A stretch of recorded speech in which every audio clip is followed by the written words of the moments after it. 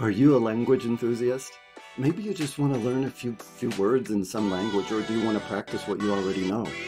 Well, I've got something I want to show you right here and it's called Talkio AI. It's an amazing product. And the only reason that I want to share this with you is because I've been using it myself. I love languages. I've been studying languages since I was in seventh grade. Started with French, then I went from French to Spanish, Spanish to German, German to Russian, American Sign Language, and I speak fluent Mandarin. I have a bachelor's degree in Mongolian, and I love languages. I've studied bits and pieces of Vietnamese, Tagalog, Japanese, in any language that I can get my hands around or any country that I visit. And if you want to learn a language, or if you want to practice what you already know, then you need to check out Talkio AI. So this is the splash page for Talkio AI. It gives you all of the information that you need to know about how to use it, what it is. You can basically use any language. The languages are amazing. How many languages you can use and what you can do with it is virtually amazing. I have to say that I'm stuck. I'm sold. So here we are in the settings.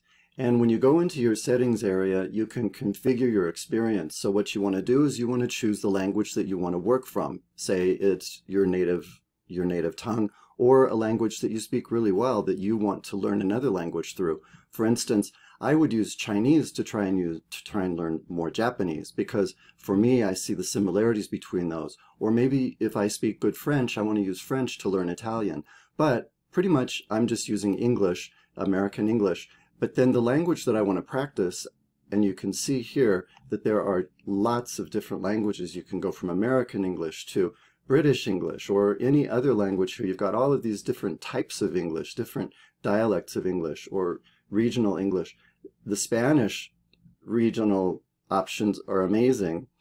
And then you've got um, Tagalog listed as Filipino and uh, French from France, Canada, Swiss French, you have all sorts of different things that you can go through and choose from that if you want to learn, you can start learning or practice if you already know some. Now, one of the small drawbacks with learning a language from zero is going to be that the uh, teacher or the your tutor does not necessarily speak English. And so you need to be able to have some ability to interact with them in, in their language you can come over here and it will translate what you want to say into uh, like to translate American English. So say if I wanted to say, uh, what time is it? Okay, then I can put that in. So then it asks, it says, uh, 现在几点钟? So I can copy that, put it over here, enter, 现在是几点钟？我不知道，因为我是一台人。Now let's go through the pronunciation. And what the pronunciation is, is that it puts wherever you, you put yourself in the your proficiency level, that's where it's going to work with you. Some of the proficiency levels aren't quite figured out yet. They're still working on it. So in Chinese, the proficiency level hasn't been established very well. A lot of the very basic things are actually quite complex. But in other languages, French, Spanish, uh, languages like that, it's much more uh, intuitive to those levels.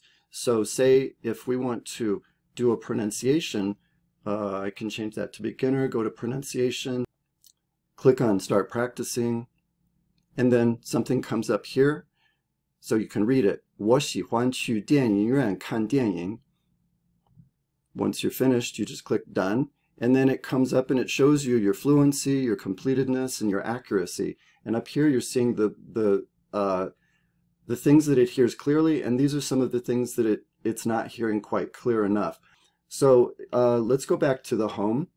And uh, you can see you can choose all of these different tutors. Let's go to a different language. So now let's say um, I'll put it in French. And uh, I do French from Canada. Uh, I choose to speak North American French, and so uh, put it at upper intermediate. So now we only have three uh, tutors that we can choose from. So I'll switch to one of those, and then we can go to chat. Bonjour, comment ça va? Ça va bien, merci. Et vous, comment ça va?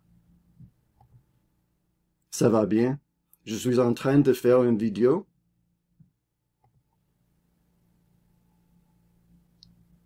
C'est génial. Quel type de vidéo êtes-vous en train de faire?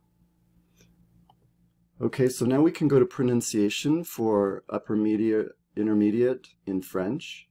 La réalité augmentée est une technologie qui superpose des éléments virtuels au monde réel, offrant ainsi de nouvelles expériences interactives et immersives. Um, and then there's lots of different reactions to the different words in my pronunciation. So if I'm not sure a good way to pronounce this, say, let's look at this one, élément, and let's hear how it's telling me I should pronounce it. Élément. Élément. So if you're interested in improving on the languages that you've studied, bringing them back, or starting a new language or one that you're just starting, try out Talkio AI. It'll be a great tutor experience. And I think once you get into it, you'll really find that there's a lot of incredible and really exciting things that can be done with it. Talkio AI. Check it out today. You get a free seven day trial with your subscription.